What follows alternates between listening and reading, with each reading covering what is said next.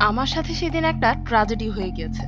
আমার বুড়ো আঙ্গুলের নখটা ঠাস করে ভেঙে গিয়েছে।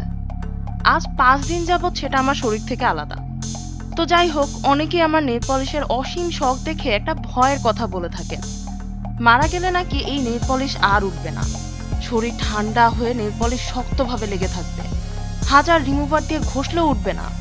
তখন নাকি আমার মৃত শরীর থেকে আমার নখ উপড়ে ফেলতে হবে।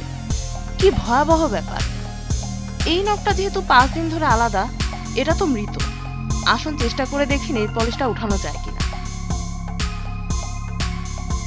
আমি এখানে অ্যাসিটন দিয়ে ভেজানো একটা কটন বল নিয়ে নিয়েছি, আর আমার ভাঙা, মৃত, দুঃখিত নখটা। কটন বলটা দিয়ে নেল পলিশটা উঠানোর চেষ্টা করছি। এখানে মোট পাঁচ লেয়ার নেল পলিশ আছে, এক লেয়ার বেস কোট দুই লেয়ার কালার নেল পলিশ এবং দুই লেয়ার টপ কোট ছোট্ট ডিজাইনটা না হয় বাদই দিলাম। দেখতেই পাচ্ছেন দুই সেকেন্ডে উঠে আসা শুরু হয়ে গেছে। এই নেল পলিশ না ওঠা কেচ্ছা কাহিনী শুরু হয়েছে সম্ভবত ভূত এফএম থেকে। এবং এর সত্যতা আপনারা চোখের সামনেই দেখতে পাচ্ছেন।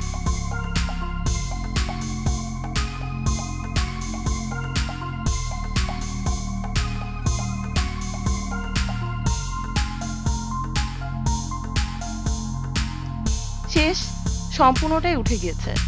আমি আগে থেকেই জানতাম উঠবে। উঠবে নাই বা কেন? অ্যাসিটন অথবা অ্যাসিটন বেস রিমুভার দিলে নেল পলিশ বরফের টুকরা থেকেও উঠাতে পারবেন। আপনার মৃতদেহ কি আর এমন ঠান্ডা? আমি শুধু বলতে চাই যে কোনো কিছু বিশ্বাস করার আগে আমাদের এর পিছনে লজিকটা চিন্তা করা উচিত। সবসময় সবকিছু সত্যি নাও হতে পারে।